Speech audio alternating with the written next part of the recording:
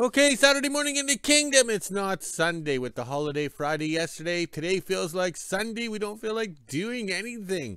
Yes, we just want to relax and enjoy and have a good time. But today is Saturday, so it's a regular work day for us because the boss is an asshole. All right, this morning we woke up to minus 12 Celsius, but feels like minus 17, which is lies. Look, no Grinch gloves. It's warm, but I'm not risk taking the me phone out of the whole shack. All right, and on the yo-yo scale, plus 10 Fahrenheit, but feels like plus one. See, I told you it's warm out here. All right. So also too, the older I get, the smaller things get. Yes, including my Speedo. Yes, and look at these. These are the world's smallest candies. I remember being a kid, these were so large in my mouth and everything. You know, now they're so small they should be called Tic Tacs. Unreal. But the price has gone up. It's about double or triple the amount we paid when we were kids and got four times as much. But that's the joys. Nothing we can do about it. We, we live in the new world. All right, let's risk it all by taking the me phone out. And of course, we got some lame ass snow. Where's the snow? Month of March, we should be getting lots of snow. Plow, plow, plow, plow. But not this year. We got a skiff of snow to make everything slippery for the old guy. Oh, that's me. All right. The sun is trying to come up over there somewhere. It's overcast. It's kind of a sprinkly snow. Did that all last night. Unreal. And I untangled the flags. They look so good. Yes, and they show up good in the pictures because an overcast day yesterday gives us good pictures because there's no shadows, but the colors show up even better. Yes, I'm colorblind and I can see the colors. All right, so over here, the big trees that we fresh killed didn't burn last night. So all I did was open the door of the stove, toss in some fresh kindling known as those core boxes, and the stove is good, good to go. And you can see there's snow on the roof, so that means it's not warm yet. As soon as that stove puts out the heat, that uh, roof will become snowless around that stack. But oh well. And hopefully we get some time before the rains come to put the ridge cap on. But we can only do that when there's no snow on the roof because I don't want to slip and fall. Especially at my age, when I hit the ground, I'll probably break something. Yeah, and spill my beer. All right. So today we're going to be working in the shop on the TD18 known as Dually. Yes. Ooh, I better get this back inside where it's warm. It's going to censor me. All right. We better get to work because here comes the boss because it is Saturday. Saturday morning in Whoville, and it's just after 8 a.m. and I'm finally rolling out of bed. As you can see, there's a bit of a sunrise, but it's hiding behind the clouds, and it is still snowing. A little bit of snow came down last night, and it's still going today. Now it's time to head inside, let the dogs out, and make breakfast. 11 a.m. and I just got the skidoo out. Now I'll head up and do some shopping. We don't actually have to grab much today, just some sale things and fill up the water jugs. And I don't think we'll be doing much in the kingdom this afternoon because it is snowing right now, so we can't really do anything. Now let's head shopping. 11.30 and I just got back from shopping for the one bag and two water jugs. It was $119, but they had stuff on sale, so I grabbed a few things. There's a bunch of tomatoes in there as well, so my dad will enjoy those on his tomato sandwiches. Now it's time to haul everything inside and make lunch. 1 p.m. and I just finished up lunch. Now it's time to head on over to the kingdom and see what my dad's up to. He asked me to bring the toboggan over and fill it up with some firewood for him from the tank shed, so let's get going. Just after 1 p.m. and I made it to the kingdom, my dad's going to jump on the mini and go down and grab a couple trees out of the pile. And while he does that, I'm going to fill up the toboggan out of the wood shed and bring it over to the shop for him as well. I also have to take the branches that we sliced off from all the trees the other day and put them back into the pile as well so we can use them again later. Just dropped all the branches off into the pile. Now I'm over at the woodshed. Gonna fill up the toboggan as much as possible. That way my dad has enough wood for the next couple days. Just after 1.30 I got the toboggan filled up. Now I'll take it down to the shop for my dad. I got it up as high as I could. There's not much left in the shed here, so we might have to go down to the wood pile and grab some next time, but hopefully this will last him a couple days. Got the toboggan down by the shop, but it looks like my dad brought over a couple white trees here, so we can cut those down to size so we can bring them inside. I'm just waiting for him to come with the mini and a few more trees.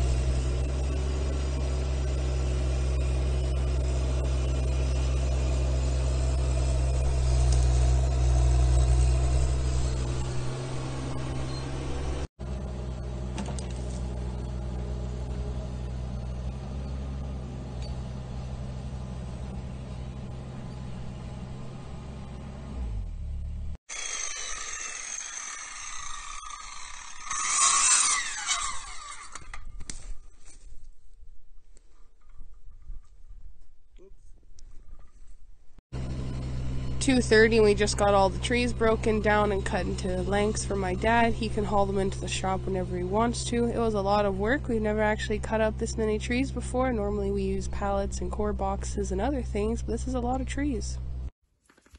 Just after 2.30 and I'm done in the kingdom, make sure to grab my dog treats and the pan for tomorrow. We are going to have a nice rib supper with potatoes and carrots and all that for our Sunday fancy dinner. Now it's time to head on back into Whoville and do the weather almost 3 p.m. and I just made it home from the kingdom and put the skidoo away. Now it's time to head inside, let the dogs out, and then I'm going to do a little bit of gardening and check on all my seeds. 4.30 and I just wanted to give you guys a little update on my big red chili peppers. Looks like I have another one coming in. Doesn't this look cute? It's almost the size of my pinky now. Hopefully they actually stick and get a lot bigger. I even have this big red chili pepper here growing as well. It's not as big, but it's slowly getting there. Hopefully this one sticks because they are getting pretty big. I have about four in total growing. Now I'll show you guys my big, big red chili pepper. And here we have my big red chili pepper. It is longer than my hand now and doesn't even fit into the camera anymore. It's looking pretty good and hasn't broken off yet, so I'm hoping it continues to grow. Soon it should start changing color little update on my cucumbers and peas. They are growing like weeds. It is crazy how fast they are sprouting out. One more day and I'll have to change them into pots. Then they can start growing in there. And once they outgrow the pots, I can move them into the big ones. By then I should be able to have them outside. 5 o'clock, and this is the temperature we're sitting at today. It's negative 5 degrees Celsius, which is 23 degrees Fahrenheit. We even have the feels like on the bottom. It's been pretty warm out there today, and lots has melted since that little snow we had. Now it's time to head inside, make supper, let the dogs out, and end my day. Okay, coffee time in the kingdom. We're done outside. It's too warm, too sunny, too bright. So I was working on the TD18 this morning, and I'm doing repeat of what we did with the other TD18, so I didn't record it because uh, it's called boring, like a marriage. But over here, we got some firewood, and now we'll go have a quick coffee with some beverage in it, and then we can begin production again. Okay, just about 5.30 in the kingdom, and we got the manifold on. We couldn't quit until the manifold was on because the gasket goo and everything has to dry, okay? So this is the second time we've done it, but we did it differently, all right? Also, too, I'm not getting fancy because what we did with the Blaine, the other TD18 we did first, Went out for a little test drive, pulled the drag and the sugar snow really didn't work hard and we called it a great success. That would be equivalent to me quitting drinking for one day and then telling everybody I'm a recovering alcoholic. So I'm not pleased, uh, how would you say we don't trust with this here because we have those little rubbers up in here that seal it out, okay? The proper design would be to machine something that a thermostat sat in where those rubbers are because those rubbers can rot away and take off and be in the water pump in the bottom of the radiator. Okay, so this is what we did. We did it the same as we did. That way, if we have one mistake, we have two mistakes. There's no sense trying to recreate the wheel or reinvent the wheel. So, but this time when I welded it, I put this uh, cold weld stuff on. Okay, it's the JB Weld of Permatex, Primatech. Okay, Sir Rodney sends this up this stuff up to us because it's good stuff. We used it before on fixing the axles on the 46 Chevy two ton. Yes, and then over here I got my little tub there with all the plates, all the jimmies, the rigs, everything to do the um, the thermostat housings again. So if we have one of these leaking, we can, uh, how would you say, remake and regroup, okay? So today was a little boring day, but that's what it takes to get things done on it twice. So we do it once on the big one, uh, once on one cat, and then we do it again. But also too, remember, we did all the thermostats on the TD6s and the TD9, so that there's uh, what, six right there? No, ten. Oh my god, I can't count. Yes, four little ones and uh, four big ones. That's eight. Oh, I still can't count. I better go count my beers. Okay, we're going to be short some videos, so we'll add something from what we did in the past. That's not a rerun, because if you guys haven't seen it, that means it's not a rerun. And yes, this is firewood in the wilderness, Alaska, land of the toothpick trees. Nope, but in northern Manitoba.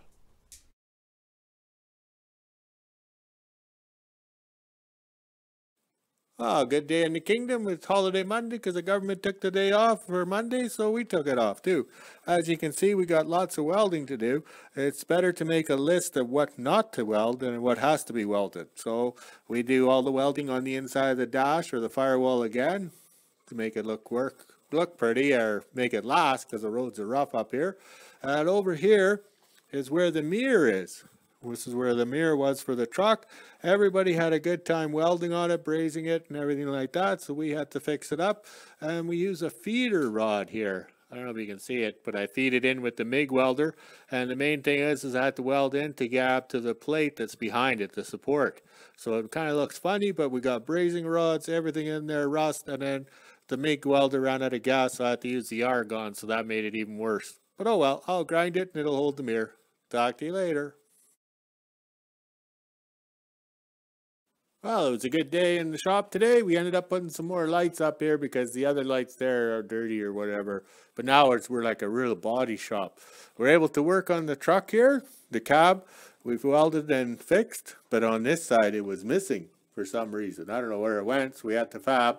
Had to fake everything like my first ex-wife, but we got it done. Tomorrow the staff can help flip it over on its back so we can weld underneath. But what saved the day today was this three-in-one roller bender thing, which I am learning how to use, but I seem to be making my bends and angles and shear cutting and seem to be doing all right. All right, I'm going to go drink some beer because we worked hard. All right, talk to you later. Okay, quick start to the video. The staff is here. It's 3 o'clock coffee time and we're going to flip the cab back over where it's to be. I did all the welding underneath, made it look pretty. Uh, this uh, kind of got the wrong paint, but I was given some paint that was frozen, three years old, and it still comes out of the spray can, but not very well. But the main idea is to get the metal protected because we don't know where we're going to get some paint because we are still in the COVID-19 lockdowns and paint at the end of the world is hard to come by. Well, we worked late again, but oh well, the dogs will get used to being late. All right, we mounted the heater. We used the template off the other vehicles because the template that comes with the heater doesn't work. We have drilled so many holes to have it wrong. So the heater's in. The master cylinder and brake booster out of an 86 Suburban that came from Wisconsin fits nicely, but I cut the firewall out to get rid of the cross braces and stuff to make it nice and smooth. And then over here, oh, see how pretty that turned out after lots of grinding? And in here, the brake pedal is ready for the steering wheel. So that's the joys of having done it, what, four or five other times on the other trucks in the yard. I just walk out and take a measurement. I don't know if you can see the black heater in the corner, but it's all coming together. And now to go drink some beer. Talk to you later. Ah, it's a nice sunny day. Staff and I worked through coffee to get this project together. As you can see, we have quite a few of these trucks, so it's easy when you copy off the other ones. So the 45 Chevy now has a motor installed and the cab back on, first time since probably 1989, I think it was. I was married with children back then, but my time was limited. But we got the motor in, it all fits in, everything's looking good. And now we can go drink some coffee. Well, it's quitting time. We had a really good day, but we also work non-stop. So the boss is treating us to a little Captain Morgan, I guess you call it, some pirates rum. Oh well, but the cab fits. We're quite pleased. Now we can work on getting everything else lined up. And the parts are here. And we also got new bolts because we had to drill out the rivets to fix all the spring bushings and everything. All right, so now the time to go drink some beer and relax because we worked hard today. Talk to you later. All right, Friday in the Kingdom, we're working late because we have to finish a few things because we're getting things done here. We got the fuel filter sitting properly, started with the heater hoses, got an air cleaner that actually fits, and the main thing is it has to suck warm air off the intake or the exhaust manifold over here. That's my finger. And the spring perches or brackets are coming along nice. They're bolted in with those fancy bolts. And the cab is officially mounted on the frame for the first time since 1989. And being Canadian, we mounted it using hockey pucks. Totally Canadian, eh? Well, we'll talk to you later. Gonna go drink some beer. Saturday night in the kingdom, we're finally done. We did an all day or non-stop to get this to fit. I don't know what I was thinking or drinking, but I thought the two-speed shifter lever for the rear end bolted to the transmission. But it's a new style transmission, but I have to keep the original bracketry in case my daughter puts the original motor and transmission back in. Then the next problem I had, the original uh, clutch and brake pedal bolt on the three little bolts on the side of the bell housing, no other supports. But I get carried away and I made a nice one here.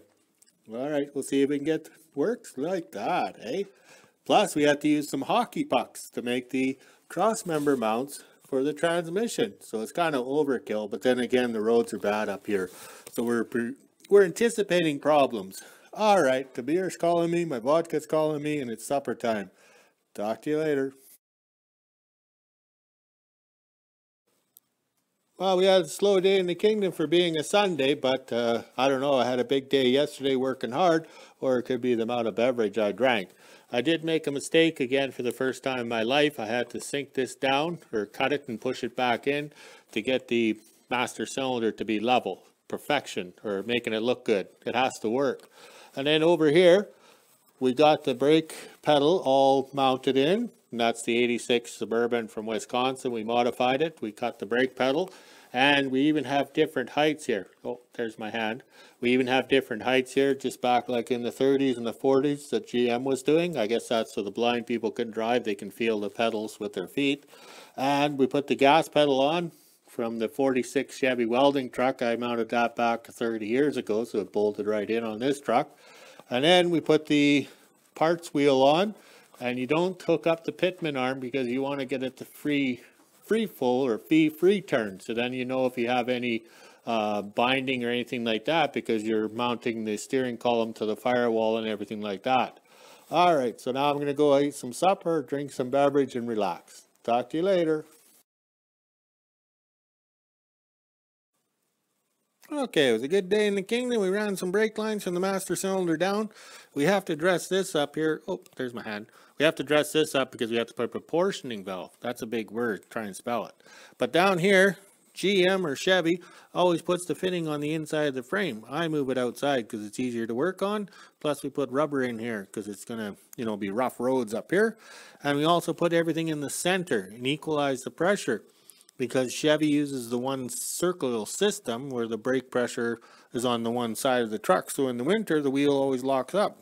But over here, we got the fuel lines all made and everything. But as you can see, we have trouble bending the, the tubing. But I got a brand new bender, but it's actually a kinker. See, we did lots of stuff today. We made some nice kinks.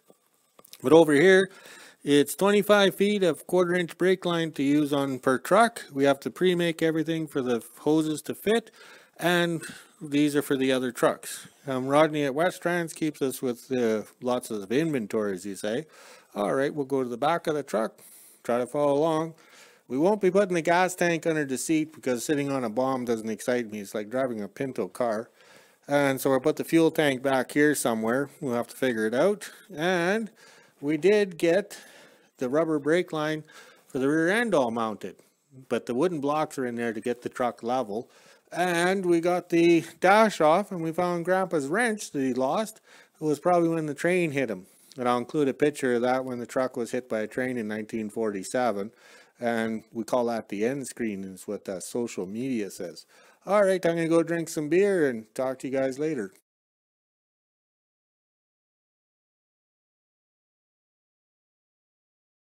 Okay, good day in the kingdom. To tie in the brake lines to the back of the truck, we also include the wires for the tail lights and brake lights. So if you're tying in one line, might as well tie in the wires too. We decided to put the fuel tank on the driver's side of the truck, so we have to make some changes. Everything is going good. We got the wires tucked in nice, and it's starting to come together. But seeing how I'm colorblind, we only use certain colors because why should I buy color for other people to enjoy? But at my age, I have to mark everything down. So this is all tie strapped in, rubber mounted, so it's coming together because the roads are rough. I did change the fuel line at the front here. I didn't like it, so that's why the fuel tank went to the driver's side. So that looks a lot better. And it'd be easier to fix at 40 below when the little hose or something malfunctions because it's frozen. And then over here, I'm sitting on my bar stool again, playing with my little toggle switches and my inline fuses because everything is shrink tubed and done right because of the cold weather up here. And we wired in the starter because we're going to go for a test drive hopefully this weekend. I don't know where we're going because Dairy Queen isn't open. But we're running two master switches. Okay, there it is over there. And we're copying off the Caterpillar cats and everything like that with a negative ground master switch. So that's for all my negative ground.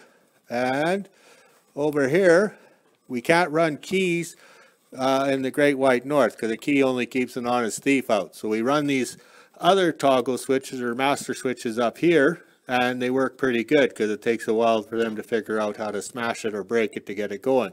But it's coming together and we'll be putting the battery back here in a toolbox or something like that. We haven't figured out what we're doing. But we got everything all done right, soldered and marked. I don't know if you can see that because I'm colorblind, so I kind of use one color. But that all works out. And everything's good to go. Well, now to go drink some beer. I worked hard today. Talk to you later. Just about coffee time in the kingdom, and it's my lucky day. I'm taking flat steel here, shelves from the mine, they're probably 1950s or 60s, cutting it into strips, rolling it on my fancy sockets. Oh, I'll pick that up later. Rolling it on my fancy sockets, using all my vice grips to hold it, to make these heater duct or defrost ducts on these heaters. So that's the 46 Chevy and this is the 45 Chevy. So this is the end product when we get it done. It's not perfectly straight or round, but once the heater tubes on or the defrost tubes are on, it'll look good. Now I have to make one of these because I'm missing one. I don't know where it went. Maybe I sold it for beer. But it doesn't look pretty, but it's going to work and keep me warm. Well, we pushed the limits of creativity being sober. I had good luck with the little round things for the heater, so I made the little snorkel tube there for the defrost. Now I just have to get Sir Rodney to send me the hoses so we can have defrost, and then we can put the dash back together. It's a lot easier to work on the dash or the truck when it's no dash or anything in there. But they got the dash upside down in the workbench here, and we're wiring in the lights and everything else. We use the toggle switches underneath the dash so we're not cutting up the dash or making a mess. Everything is marked individual fuses so you can shine the flashlight through the fuse to see if it's burnt. Okay, because you got to remember these trucks are used in the winter. If they quit, we have to fix them quickly because your fingers are freezing, you're getting useless, and you're and it, you're freezing to death. So this is one thing we do. Plus, I'm even nice enough to mark everything for people down the road to figure out. So that is the color red according to the magic marker. So that means it's hot. All right, I'm going to go drink some beer. Talk to you later. Okay, that bright sun went away because it's too bright on the eyes and the dogs are ready for the walk. Yes, we put some wood in the wood stove. Yes, those toothpick trees. Yes, they burn nice. Yes, we don't waste or throw anything away here in the wilderness, Alaska, but in northern Manitoba, also in the kingdom, we recycle, reuse, repurpose. A lot of people think we're nuts to drag those trees in to burn them, but hey, it's free firewood, cleaning up the yard. Hopefully we get some more snow because we need snow because we want to go out on some more adventures. Pull the cabooses, pull the sleighs, pull everything, have some fun, and maybe get the Linn tractors out. And there's the flags in their natural state of being almost limp. All right, let's go walk the dogs, make a video, and drink some beer. Well, first, count the beer, and then drink some beer. Talk to you later.